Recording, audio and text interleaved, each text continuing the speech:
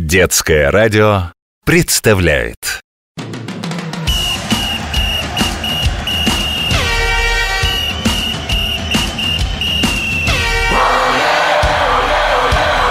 Спортивная программа.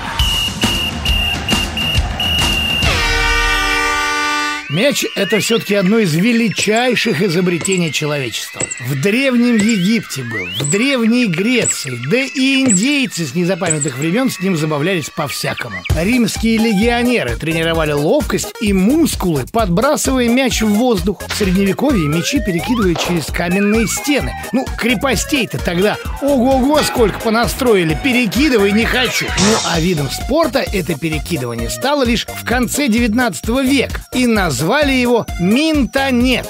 Как вы не знаете такую игру? После футбола, между прочим, самая популярная в мире.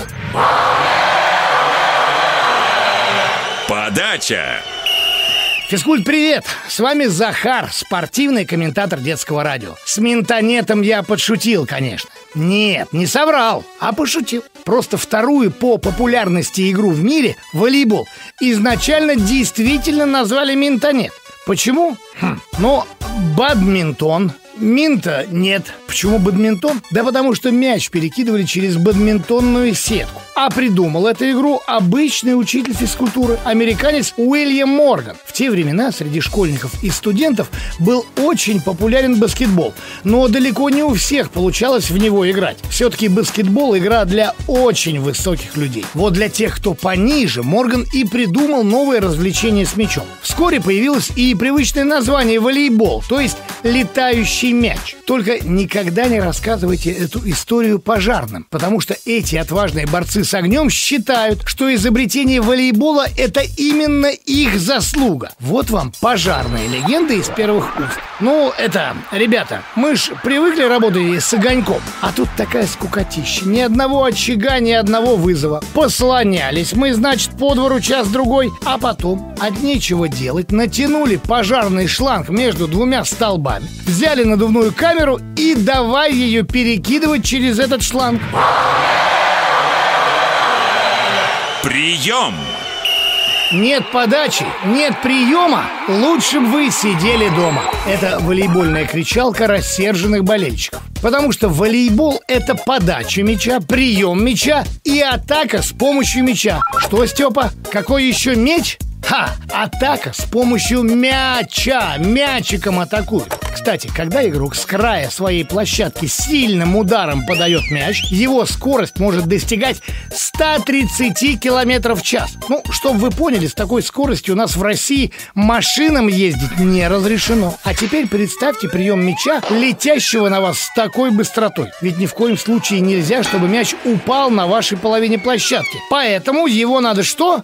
Правильно, остановить голыми руками. Да еще и так остановить, чтобы товарищи по команде смогли атаку организовать, а не просто отбить его или запульнуть на трибун. Волейбол вообще игра необычная. Обычно как? Забить мяч в ворота или попасть в кольцо. А здесь цель – не допустить, чтобы мяч коснулся вашей половины площадки. Больше таких игр нет вообще, можете даже не искать. А еще в волейбол играют не на время, а на результат. Для победы команде нужно выиграть три партии из пяти. Так что перебрасывать мяч туда-сюда можно очень долго. Вот почему предсказать, сколько продлится волейбольный матч, практически невозможно.